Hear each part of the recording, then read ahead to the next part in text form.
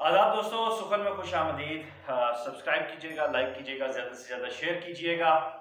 बात करने जा रहा हूँ आज एक हमारे अहद के इंतहाई अहम नज्म गो के हवाले से, जिसकी नज्म को दानिस्ता तौर पर डिस्कस नहीं किया जाता। नज्म गो के इलाके में और बिलखसूस वो लोग जो नज्म की तनकीद लिख रहे हैं।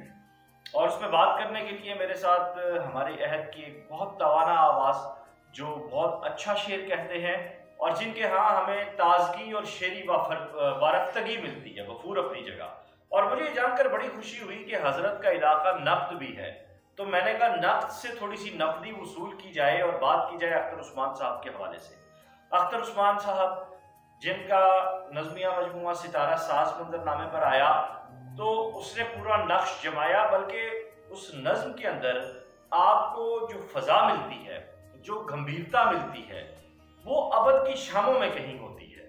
उसके बाद फिर तराश की अगर हम बात करें तो तराश में नजरियाती सतह पे भी आपको चीज़ें मिलेंगी, फिक्री सतह पे मिलेगी, उरूजी सतह पे मिलेगी, लिसानी जमालियात, लिसानी तोड़ फोड़ लिसानी तजुर्बे मिलेंगे। और तराश का जो पड़ाव है, वो मेरा अहद नहीं है, मेरा ज़माना नहीं है, सदियाँ उसका पड़ाव है। वो इतनी बड़ी कोनो मकाम का अहाता करती हुई नज्म है। और तराश मुझे आज भी याद है कि मैंने एक बार नहीं, कई बार बरसती बारिशों में, उदास शामों में, घने जंगलों में, जब मैं हुआ, मैं चूँकि हमारा गर्द हूँ तो मैंने उन दिनों में पढ़ी हूँ और मैंने उसको बसर किया है। डायल मलिक, बहुत मोहब्बत आपकी कि आपने वक्त दिया। खुश नसीब होते हैं वो लोग जिनके बारे में मतलब ये लफ्ज़ कहा जाए कि वो बहुत कमिटेड होते हैं। अख्तर उस्मान साहब एक कमिटेड तरीन आदमी हैं और नज्म से उनकी कमिटमेंट हमें दिखाई देती है।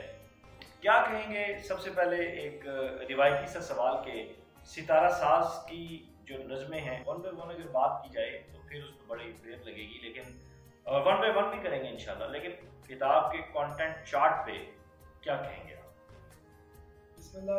रहीम सबसे पहले तो वकास अज़ीज़ भाई, आपका बहुत शुक्रिया कि आपने एक बहुत अहम मौजू जो है वो उसका इंतखब किया और हमारी ये मुलाकात एक अच्छे सफ़र की तरफ़ जो है वो गामजन हुई। क्योंकि अख्तर उस्मान साहब को जब मैंने इन पे तहकीकी काम शुरू किया, क्योंकि मेरा सनदी मकाला था, जिस हवाले से मैंने इन पे दर्जा बदर्जा कुछ चीज़ों को मलबूज रखते हुए काम करना था तो कुछ मजबूरियाँ, कुछ हर्डल्स वो भी थी, उनको भी देखना था कि कहाँ तक मैंने बात करनी है और कौन सी ऐसी बात है कि जिसको मैंने करना है कौन सी बात जो है वो उसको थोड़ा आप कह लें कि जुमानवियत में करना है। क्योंकि सबसे बड़ी बात ये थी कि सितारा साज जिस वक्त मार्केट में आई जिस वक्त ये जेवर तबाक से जो है मुनवर हुई। या रास्ता हुई उसके बाद एक खामोशी थी। हाँ। उस खामोशी की जो बुनियादी वजह थी वो ये थी कि हमारे यहाँ इनकी जो नज्म थी उस नज्म की जो ट्रीटमेंट थी उसका जो तख्लीकी सफ़र था उसका जो एक बैकग्राउंड का एक नॉलेज था वो जो सारा सिलसिला था वो जो आप कह रहे दर्जा ब दर्जा नज्म की तफहीम तक पहुँचने का या उसके अंदर मुताजन होने का जो एक अमल था वो किसी के यहाँ नहीं मिलता। किसी के यहाँ से मेरी मुराद ये है एक आम कारी नहीं। हमारे नाकदीन में या हमारे महक्कीन में या हमारा वो तबका जो अपने आप को नाम निहार अदबी तबका समझता है। अच्छा इसमें एक बात ऐड करूँगा एक सवाल आपकी बात को आगे बढ़ाने के लिए लुकमा दे रहे हैं आज जो नज्म निगार हमें दिखाई देते हैं वो जदीद नज्म के नाम पर कच्चे फुलके पका रहे हैं। उन नज्मों में बेरसपन उरूज पर है कैफियत नहीं है ना दाखिल दाखिलियत है नहीं खारजियत है। और उसमें फिर अंग्रेज़ी के तड़के और ज़ुबान का तड़का होना बुरी बात नहीं है लेकिन दरामद शुदा चीज़ें हैं जो आपकी लोकेल से जुड़ी हुई चीज़ जो आपको राशिद के यहाँ दिखाई देती है अख्तर हुसैन जाफरी के यहाँ दिखाई देती है या फिर हमारे अहद में आज जो एक आधा नाम कोई होगा जो इस तरह कह रहा होगा मेरे जहन में तो नहीं आ रहा शायद उन चीज़ों से कट कर अख्तर उस्मान की सितारा साज है। अख्तर उस्मान की सितारा साज की जो इनफरादियत है वो सबसे बुनियादी चीज़ ये है कि अगर वो उसको मगरब की तरफ़ भी हम लेके जाते हैं हम अगर वो जो मगरब ज़दा हमारा एक मुआशरा है वो जो लफ्सियात भी मगरब से ले रहा है ख्याल भी मगरब से ले रहा है और अलामतें भी अब मगरब से ले रहा है। हालाँकि हालाँकि हमारे यहाँ जो अलामत है हमारे यहाँ जो एक सिंबॉलिक इजहार है नज्म के अंदर वो कुछ और है मगरब के यहाँ कुछ और है। अब आप अगर गौर करें लेटस गो देन नज्म है उनकी उनकी नज्म ग्लोब है उनकी ग्लोब तो क्या बात है? उसकी बजोका जी बजोका जो नज्म है उसके अंदर अगर आप देखें तो आपको पूरी रिवायत मिलती है। और उसके अंदर आपको जैसे मैंने इससे पहले पढ़ा था ओशो को। अख्तर उस्मान को पढ़ने से पहले मैंने ओशो को पढ़ा था। ओशो के यहाँ मुझे एक रवैया मिला जो मुझे बजोका या स्केयरक्रो के हवाले से मिला। अख्तर उस्मान साहब की जो नज्म थी उसके अंदर मुझे वो झलक नज़र आई।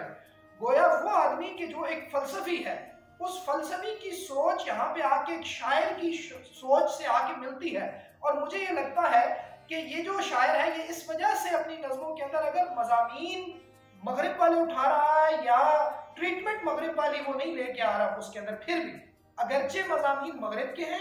यानी नफ्स को उसने इस तरह से इस्तेमाल किया बजो का भी रख सकते थे वो मान उसका, लेकिन उन्होंने स्केयर क्रो ही रखा। लेकिन उसके बावजूद भी वो पूरी रिवायत से जुड़े हुए हैं।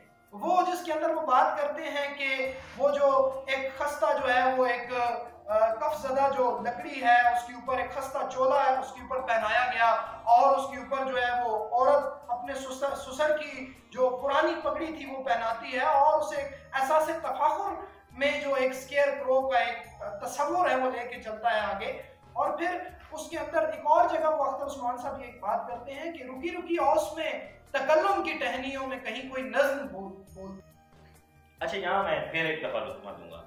आपने जो नज्म, ये जो मिसरा आपने सुनाया, अभी इस पे मुझे डॉक्टर वहीद अहमद की एक बात याद आ गई डॉक्टर साहब ये बात करते हैं कि उर्दू नज्म गज़ल के दरवाजे से दाखिल होकर अपनी दरियाफ्त दिलों पर ठोकती है। अख्तर उस्मान के यहाँ वाकई एक पूरी रिवायत दिखाई देती है और वो जो उनका नजमिया आहंग है, अब दूसरी बात आती है आहंग की, जिसमें हम सितारा, यहीं से अगला सवाल भी जोड़ता हूँ। सितारा साज और तराश, दोनों के आहंग और तजुर्बात, दोनों के बारे में भी जरा बात कीजिएगा। देखिए जी, इस अहद के अंदर कोई भी ऐसा शायर आपको नहीं मिलेगा नज्म का। वहीद अहमद साहब का आपने नाम लिया। मैं खुद उनकी नज़में पढ़ता हूँ और एक बड़ा मोहब्बत का ताल्लुक है, रिश्ता है मेरा उनका। लफ्ज़ के की नस्बत से और मिसरे की नस्बत से नज्म की नस्बत से। लेकिन जो एक रिवायती अंदाज है वो हमें नज़र आता है इस अहद के बाकी शोरा के यहाँ जो बुनियादी चीज़ हमें नज़र आई जो हमें सबसे अच्छा पहलू नज़र आया मुझे अख्तर उस्मान साहब की शायरी में वो ये था कि वो एक बहर से दूसरी बहर तक का सफ़र करते हैं एक ही नज्म में। और गैर महसूस तरीके से आपको कहीं पे भी लुकनत नहीं आती। नहीं आती और ठहराव नहीं। बल्कि आप एक फ्लो में पढ़ते चले जाते हैं और झूमते चले जाते हैं। और उस्तादाना उस्तादाना सन्नाई है। ऐसे ही है। और उसमें एक और बड़ी अहम बात है सिर्फ़ और सिर्फ़ ये अरूजी तनवो नहीं है अरूजी रंगा रंगी नहीं है ये चटखारे नहीं है मैस बल्कि इसमें एक नई चीज़ जो हमें मिलती है कि इसमें लिसानी आहंग भी है। पंजाबी से पटवारी तक का सफ़र पटवारी से इनका फारसी तक का सफ़र और फिर उर्दू तक आते आते यानी मुख्तलिफ़ जबानें भी आ रही हैं नज्म के अंदर और फिर भी इनका जो फ्लो है वो नहीं जो है वो डिस्टर्ब हो रहा ये एक नया पान है इनके यहाँ और फिर मौजूदी हवाले से अगर इसके पीछे क्या आप समझते हैं कि ठीक है इल्म सारी चीज़ें कैफियत का बड़ा अमल दखल है। कैफियत का अमल दखल तो बिल्कुल है। वो जो आपकी जो आपका जाती तजर्बा है जो आपकी जाती आप कह लें भी वारदात है, वो भी उसमें ज़ाहिर है, शामिल हाल है और आपके फ़न को निखार रही है।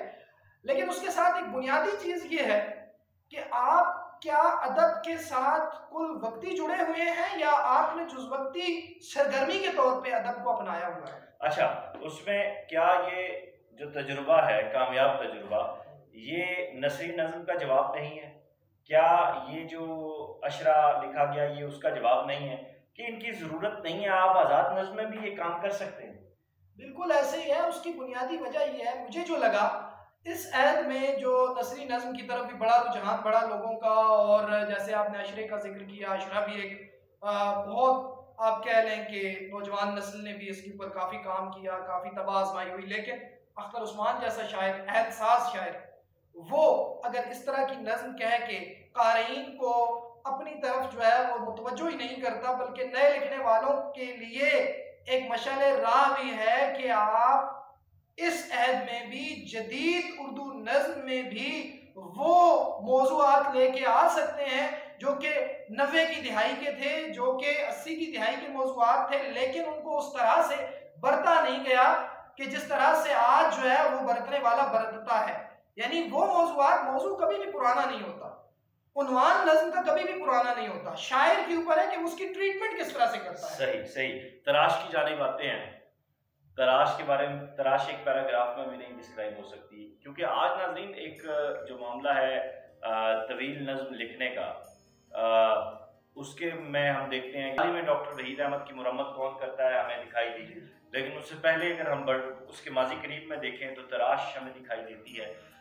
तराश के सबसे पहले कंटेंट पे बात करते हैं। तरक्की पसंदाना फ़िक्र के साथ साथ आप उसके कंटेंट टेबल को कैसे देखते हैं? सबसे बुनियादी चीज़ ये है जी कि उसका जो कंटेंट है उसकी जो लफ्जियात है बुनियादी तौर पे लफ्जियात में लफ्जियात के को देखने के बाद उसके मिसरे की बुनत को देखने के बाद हमें ये महसूस होता है कि हम आज नहीं बल्कि तख्लीक आदम तक पहुँच रहे हैं।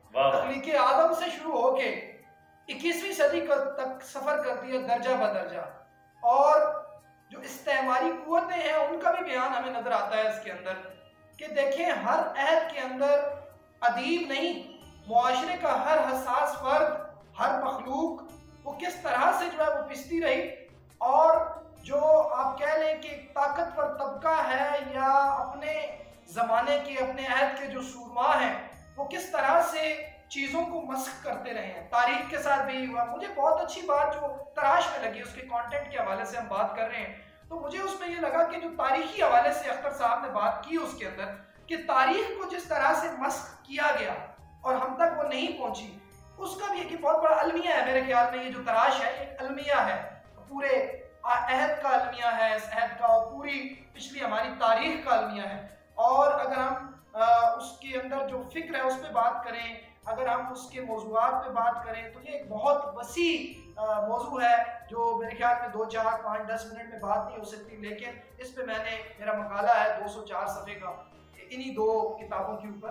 तो अच्छा आगे बढ़ते हैं तो जो समाजी फ़िक्र इसमें दिखाई देती है, जो हमें मुआशी फ़िक्र दिखाई देती है, जो हमें उरूजी तजुर्बात दिखाई देते हैं इसमें वो यकसर मंजरनामे से हटाकर एक नई, नए नज्म के दौर में हमें दाखिल करते हैं। क्या ऐसा समझते हैं आप ऐसा इसलिए है क्योंकि अख्तर उस्मान के यहाँ जो फ़िक्र है, मैंने पहले भी अर्ज़ किया कि वो इस अहद की किसी नज्म को कि हाँ हमें नहीं नज़र आती। हालाँकि कुछ बड़े नाम हैं, जिसमें वहीद अहमद साहब भी हैं, रफीक संदेलवी साहब भी हैं, या जो इस अहद के बाकी जो नाम है किश्वर नाहिद साहिबा हैं, या परवीन ताहिर साहिबा हैं इन लोगों की जो नज़में थी, मैंने उनका भी मुताल किया, लेकिन जो मौजूद तराश के अंदर हमें मिले, वो नए लिखने वालों को एक नई डगर पे इसलिए चला रहे हैं क्योंकि वो सवाल छोड़ जाता है अख्तर उस्मान, एक ऐसा शायर है। तराश एक ऐसी नज्म है, तवील नज्म। मेजर शहजाद नैयर की जो तवील नज्म है, वो भी मैंने पढ़ी नज़र से गुजरी। उसके यहाँ भी वो जो एक फ़िक्र है उसको भी देखा क्योंकि साहब की तवील नज्मों के बाद अगर कोई नज्म आपको सवालिया आहंग में ले जाती है तो वो अख्तर उस्मान की नज्में है। ऐसे ही है। इतना इजी नहीं है इस सब पे बात करना काफ़ी टाइम चाहिए होता है लेकिन मुख्तसरन अजमाली एक हैं। हर शहर के यहाँ एक फ़िक्र मौजूद होती है। नून राशिद की रोमानवियत हो मजीद अमजद की वो गंभीरता हो अख्तर हुसैन जाफरी की लाउडनेस हो, ठीक है, तब भी वो कोमलता हो, ठीक है, उसके अंदर हमें वही चीज़ें दिखाई देती हैं जो उनकी फ़िक्र से जुड़ी हुई हैं। अख्तर उस्मान के यहाँ तरक्की पसंद फ़िक्र बड़ी बला, पूरी तवज्जो के साथ, शिद्दत के साथ दिखाई देती है। लेकिन क्या आप ये नहीं समझते कि अख्तर उस्मान बात वहाँ से शुरू कर रहे हैं जहाँ से वो फ़िक्र भी पीछे रह जाती है? बिल्कुल ऐसे ही है विकास भाई, क्योंकि बुनियादी वजह यह है कि अख्तर उस्मान जिस कबील का फ़र्द है, जिन लोगों के साथ उठता बैठता है, जो उसके इस में शामिल हैं, प्रोफेसर यूसुफ हसन साहब, मुझे भी उनका शागिर्द होने का शर्फ हासिल है, मैं ये अल्फाज इस्तेमाल करूँगा। तराश का जो दिबाचा है, वो भी यूसुफ हसन साहब ने लिखा। और मेरे ख्याल में पाकिस्तान में तरक्की पसंदों का मैं आखिरी आदमी था, अमली तौर पे। आज भी अगर हम बात करें, अमली तौर पे काम करने वाला अब देखिए, बात ये होती है कि जो फ़िक्र आपके अहबाब में सर्कुलेट हो रही हो, जो उनमें उमड़ रही हो, जो उनके दिमागों में हो, जो उनके सीनों में हो, जो आपके इनफॉर्मल जो आपकी नशस्तें हैं, वहाँ पे गुफ्तु हो रही हो, वहाँ से इंसान बहुत कुछ सीखता भी है। ये हम कहें ना कि अख्तर उस्मान ने आके नबे की दिहाई में नज़में कहनी शुरू की, ऐसा नहीं है। अख्तर उस्मान तो अपनी तालमी के दौर से ही इन लोगों के पास, इन लोगों के फैज़ में कि आप कह रहे कि फैज़ के साय में जो है वो पलते रहे। डॉक्टर एहसान अकबर साहब थे, यूसुफ हसन साहब थे। अब तरक्की पसंदी जो है वो तो ज़ाहिर है उनके दिलो दिमाग में कहीं ना कहीं, बल्कि उनके खून में रची बसी हुई थी। इसी वजह से तो उन्होंने जो है वो जुल्फ़ार अली भट्टो साहब के नाम अपनी नज्म की सितारा साज में और उसके अंदर जो उन्होंने फ़िक्र बयान की अब वो तरक्की पसंदी है बेसिकली लेकिन वो जब अदबी सांचे में ढलती है वो तरक्की पसंदी तो अदबियत नुमाया होके आ जाती है तरक्की पसंदी पीछे रह जाती है और दाद देने को जी जाता है उस वजह से कि तरक्की पसंदी एक तस्वुर है। जबकि अदबियत जबकि उसके अंदर लाउडनेस की बजाय है। लाउडनेस की बजाय पोइटनेस आ जी उसके अंदर जो गिनाइत है उसके अंदर जो सुरूर है वो एक कारी को अपने बहाव में बहा के ले जाता है और फिर इसी वजह से एतराज़ भी होता है अख्तर उस्मान पे कि जो उनके यहाँ मिलता है, वो जिस वो उनका बड़ा खूबसूरत उसमें मिसरा है कि आवाज़ देती हैं, सूलियाँ आज भी खुली बाहों, इस तरह की बात वो करते हैं। वो तू एक चिराग सॉरी वो इस तरह से मिसरा है कि खिला था तू किसी सरसर मिजाज बस्ती में। जहाँ सलीका पैराया सबा नहीं था। तू एक चिराग जो मिन्नत कशे जिया नहीं था। तू एक चिराग जो मिन्नत कशे जिया नहीं था। इस तरह का मिसरा जब आता है जिसके अंदर तराकीब कुछ इस तरह की इस्तेमाल होती है एक एक लफ्ज अपने तरक्की पसंदाना सोच का हामिल और उसमें गुदा हुआ हमें नज़र आता है। लेकिन लेकिन जब उसकी ट्रीटमेंट जब उसका क्राफ्ट ऐसा खूबसूरती से बनता है तो फिर उसका वो जो रचाव है वो सामने आ जाता है और तरक्की पसंद फ़िक्र पीछे रह जाती है और उसको उस एंगल से ना भी देखा जाए तो उसकी एक और पहचान बन जाती है जो एक अदबी पहचान के तौर पे जो एक फन के एक नुमाया पहलू के तौर पे सामने आती है। वाह वाह क्या कहने क्या कहने क्या कहने क्राफ्ट जाते जाते। क्राफ्ट जो तराश की है इसके बारे में क्या कहेंगे आप? जो इनफरादियत बाकी नज़रों में भी नज़र आई कबूलियत जो हासिल नहीं हुई, उसकी भी वजह यह थी कि क्राफ्ट कुछ ऐसा था जो मुनफरद था। यानी आप एक बने बनाए रास्ते पे अगर चल रहे हैं तो कोई आपको जो है वो सराहेगा नहीं, क्योंकि आपने रास्ता है, उस पर चलना है। नए रास्ते बनाना बहुत मुश्किल काम है। जो कि इस ऐद में हमें नज़र आया कि ज़फ़र इकबाल साहब ने इस पर बड़ा काम किया। अब वो इस पे, उसमें कामयाब हुए कि सद तक, या इसमें अभी तक इस रा, इन रास्तों के बनाने में इन बुनियादों के रखने में अभी तक महव हैं। लेकिन अख्तर उस्मान ने नज्म में जो तराश में हमें नज़र आया जो क्राफ्ट आपने बात की जो बुनत है नज्म की उसके ऊपर अगर बात की जाए तो हमें जो नज़र आता है वो ये कि अख्तर उस्मान इसमें काफ़ी हद तक कामयाब हुई उसकी बुनियादी वजह ये है कि उनका मेरी समझ में मेरी दानिश में सबसे जो बुनियादी गिरफ्त है उनकी वो रूस पे है। जिस वक्त तक आपको रूस का नहीं पता और आप ऐसी नज्म कह रहे हैं, आप ऐसे जो है वो पूरे पूरे कैंटो आप जो है वो दूसरी किसी जबान में कह देते हैं उर्दू नज्म कहते हुए। ये आसान काम नहीं है।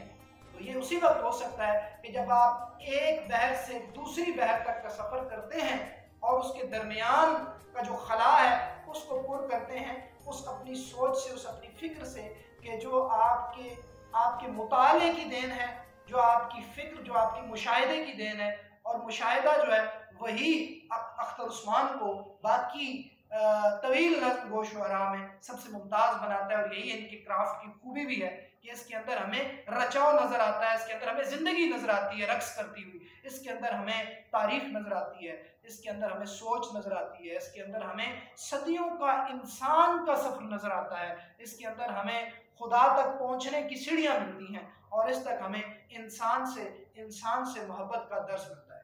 बहुत शुक्रिया दायम और दायम की बात को बढ़ाते हुए मैं सिर्फ़ एक जुमला कहूँगा कि अख्तर उस्मान हमारे अहद के वो तख्लीकार हैं, वो कलाकार हैं, जिन्हें तख्लीक ने खुद चुना है, मंतखब किया है और शायरी का हुआ उनके सर पे आके बैठा है। बिलाशुबा एक ऐसा शख्स जिसने हमें जीने का सलीका सिखाया, तहजीब सिखाई, मोहब्बत करना सिखाया और सबसे बढ़कर हमें ये बताया कि शायर को मुआशरे समाज की तरबियत कैसे करनी है? अपना ख्याल रखिएगा और सुखन को सब्सक्राइब करने के साथ साथ गुजारिश है कि किताब लाजमी खरीदें। पाँच हज़ार का मोबाइल का बैलेंस उड़ जाता है। तीन सौ की एक खरीदी हुई किताब आपकी नस्लों की सदियों तक आबियारी करती है। अपना ख्याल रखिएगा खुदा